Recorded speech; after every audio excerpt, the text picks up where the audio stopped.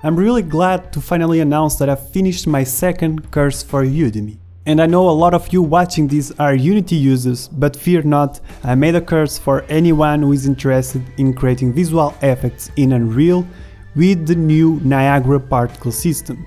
So if you want to learn how to create effects in Unreal Engine, this is an awesome opportunity for you.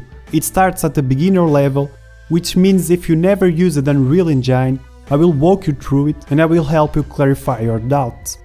And you can find the link in the description or in the comments below. You will support me like crazy and you will have access to this very special course that I've been putting together for the last few months. Okay, so now I will show you the introduction video I made for Udemy so you can have a better perception of what this course is about. Visual effects for games is one of the most exciting art forms there is.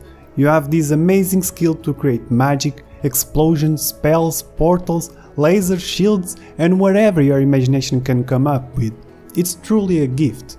And if you want to start learning how to create special effects for games, maybe just as an hobby or maybe you want to start a career in game development, then you should join me on this course. It will guide you from a beginner standpoint to an intermediate level in creating visual effects for games using Unreal Engine 4 with the new Niagara particle system. And even if you don't know anything about Unreal Engine, don't worry, I will guide you through this software. We are going to start with something simple, like some sparks, just to get familiar with the Niagara particle system. Then we will dive deeper into visual effects and move on to something more challenging, like this area of effect attacks that you are seeing. And then we will even create some cool spells, like these projectiles, with their cool impacts as well. And finally, at the end of the course, I will show you how to achieve these electric zaps, these electric spells, which are truly awesome. So come and join me, I'm Gabriel Aguiar, founder of the YouTube channel Gabriel Aguiar Prod, which has almost 3 million views related to visual effects for games. I will be more than glad to have you on board and to teach you some solid foundations for your future visual effects career.